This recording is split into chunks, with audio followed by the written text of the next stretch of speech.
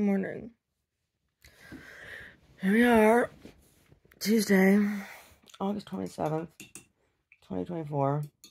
I'm Larissa. This is my video diary. Hmm. Yeah.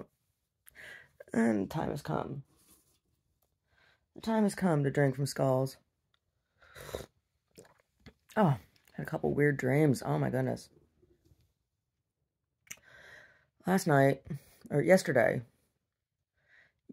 not last night, the night before, I had a dream. I had a dream that I was, that Paris Hilton was living in this house with me and Omar. That she and I decided we were going to get an apartment. And when moving into this apartment, she wanted to paint everything pink. And I had to tell her, no, you cannot paint the whole apartment pink. Paris Hilton. Paris Hilton. Oh my goodness. Ridiculous. Silliness. Total silliness. Paris Hilton. I was like, no. I said, how about we paint it taupe and gray? And you can have pink highlights. But if you want all pink, you can paint your room all pink, but not the whole apartment. I said, my room will be my color I want it to be. Oh my gosh. So funny. Yeah.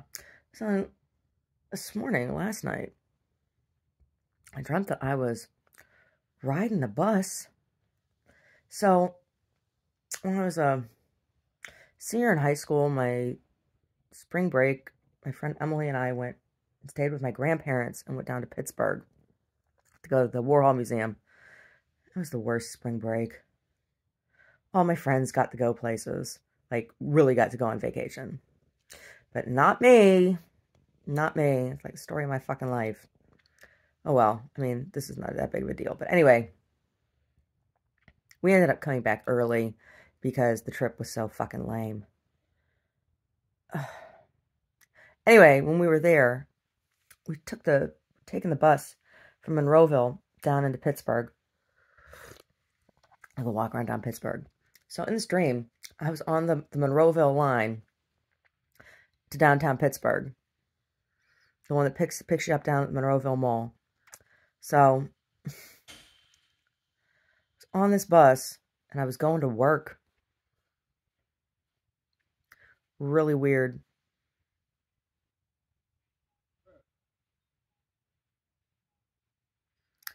Really weird dream.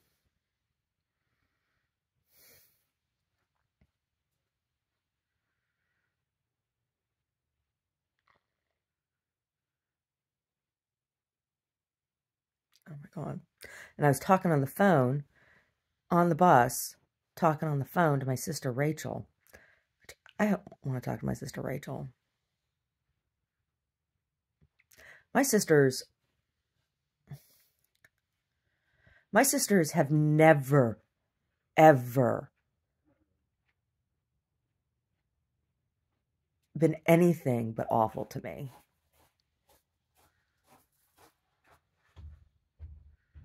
Growing up, you know, I when I had to babysit them, they were horrendous. And then they they were particularly the youngest one, but both of them. So like when I mean, Rachel always the middle one, Rachel, she always wanted to follow me around everywhere and my mother was like I had to let her play with me and my friends. And it was obnoxious, right?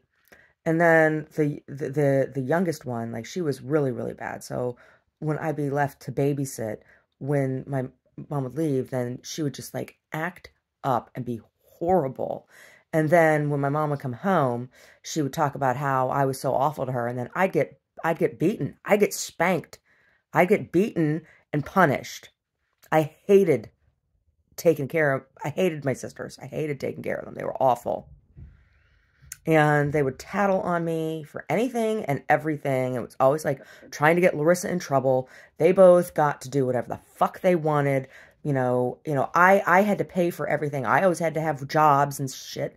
They never had to have a job or do anything, right? Like they got horses and solid silver flutes and got to go to space camp and all this shit and I never got to do anything. And as adults, you know, it was just always the same. And, you know, they wanted to go to daddy's school. They went to daddy's college and ass kisses. And they both live back in Pittsburgh. My sisters are awful. They really are. They were spoiled brats. And they have never been friends of mine as adults. They've been horrible. Yeah. So I'm glad to not be in their lives or have them in mine.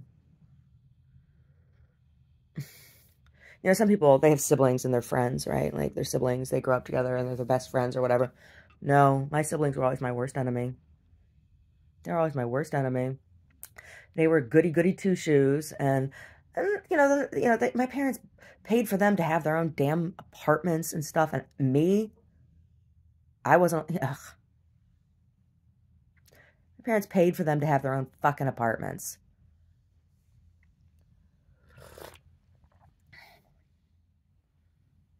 I, I don't want anything to do with my family. My family has always treated me like garbage. They always have.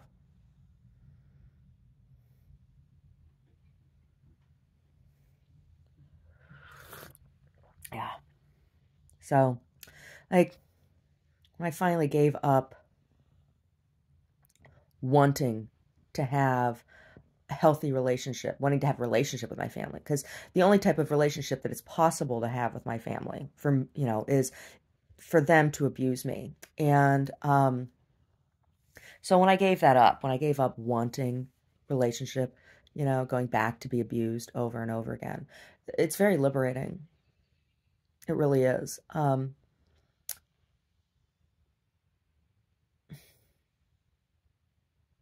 And that's just the way my family is, you know? So it's like if I'm not there to be the one that's abused, I wonder who it's going to be. It'll probably be my nephew, right? It'll probably be him. Whatever. Sorry. Sorry for you, dude. It sucks. That's the way they are. They pick one and then they abuse them, right? You become the scapegoat. You become the one that everything gets piled onto, right? So it's like, I'm really glad to not have children to have to be part of that dysfunctional system and abusive system because, you know, it would be then always comparison to other, the other grandkids or whatever, because that's the way it always was. Um, when I was growing up.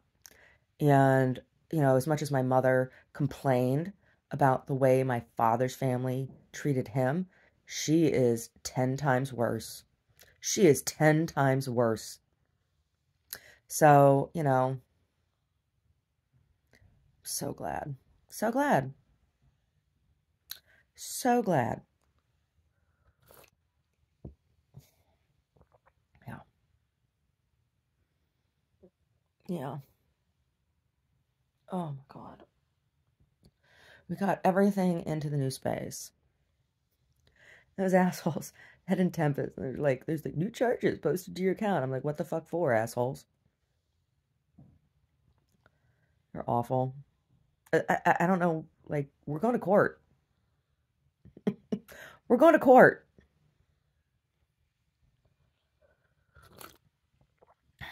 We're going to court. He's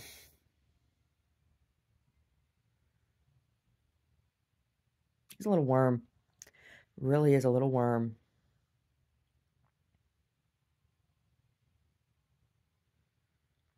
Oh my God.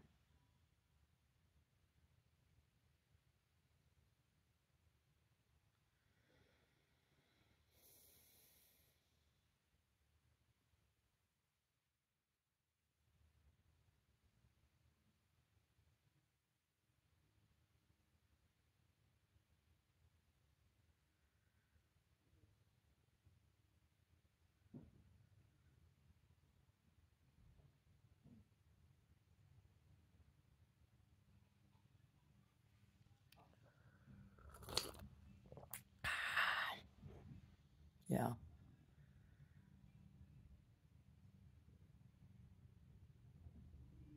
He's a worm. I'm done having wormy, shitty people in my life. he thinks I don't know what the fuck he thinks, but he's not getting a dime out of me.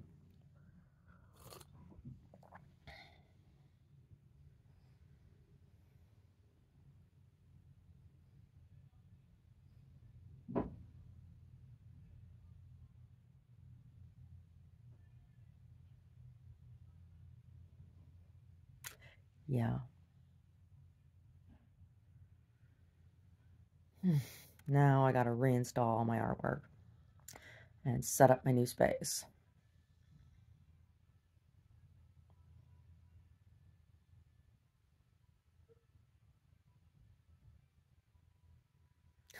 Yesterday, so to get the last things out, I'm trying to move the fuck out. There's a bunch of people, like a handful of people come by. They're like, ah. And I'm just like, oh, what happened? It's just like, what is wrong with you people? This one couple, this woman, woman has been so rude to me. Her dog has a skin has a food allergy of some sort, some sort of skin allergy, and has arthritis, and always wants Reiki and like throws a fit, like throws a temper tantrum, flops down, doesn't want to move, plays dead, right? Trying to trying to stay. And I have explained to her your dog is here for Reiki. This is a service I offer, blah, blah, blah, blah, blah. And she just like pretends like she doesn't hear. And then they want me to give them time when I'm trying to move out. It's like, fuck you. You didn't pay me. You didn't want to pay for my services. Don't come in here and act like you're a mommy or something. She, she's and she's not she's not that much older than me. I'm just like this is this is the one who had the son whose coach wouldn't give him minutes. And it was his senior year. Boo hoo. And they won and everything. They won the championship, but he didn't get minutes. And it was his senior year. I'm just like, shut the fuck up. She's and I was the team mom. Where? I'm like, get out of here. You entitled cow. I thought she was going to like tell me some horrible, horrible thing had happened. And I was like, what's the matter? And she tells me this. And I'm like, this is what you are all pouty and wow. Wow. I, you know, it's not that I, um, when I talk about my, you know, my, my parents paying for my sister to, sisters to do things, it's like, why did it's not like they go, I, I didn't get to go to space camp. Oh, a lot of kids don't. But it's like, why did they get to go and I didn't? Right? Why was I forced to work four jobs so that Mary could have a horse? Right? And Rachel could have an apartment at Pitt. Doesn't seem right. Right? Seems like maybe they should have had to work too. But no. Mm-mm.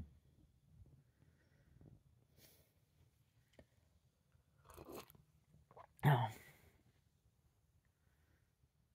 Right?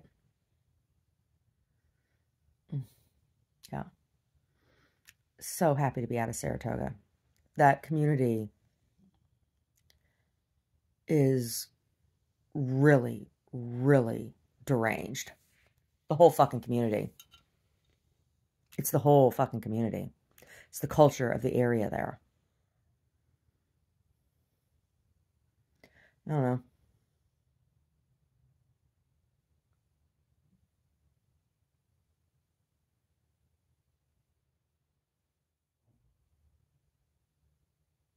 Yeah.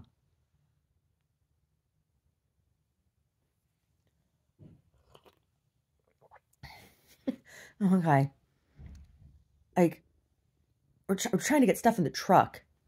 Did not offering to help, not offering to help or anything, but wants to tell me about, oh, I lost my job and blah blah. blah. I'm like, boo fucking who, dude? Boo fucking who? one of the ones that came in and was like, "Oh, you need to start serving coffee in here or something." I'm like, "Get the fuck out of my store!" And I said to him, "I said, I hope you get whatever coffee shop or booze shop or whatever it is you people over here want." He's like, "Oh, don't be bitter." I said, "I'm not bitter. Totally mistaken. Totally mistaken. Totally mistaken my disgust at his myopic self-absorption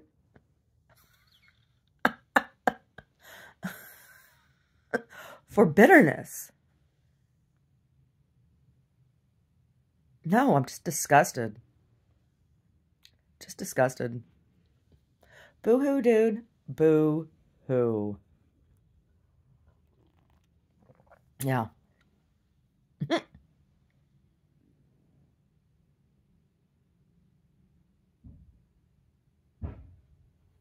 anyway. Anyway. Drink my tea, get moving, and have a nice, be nice to Larissa day.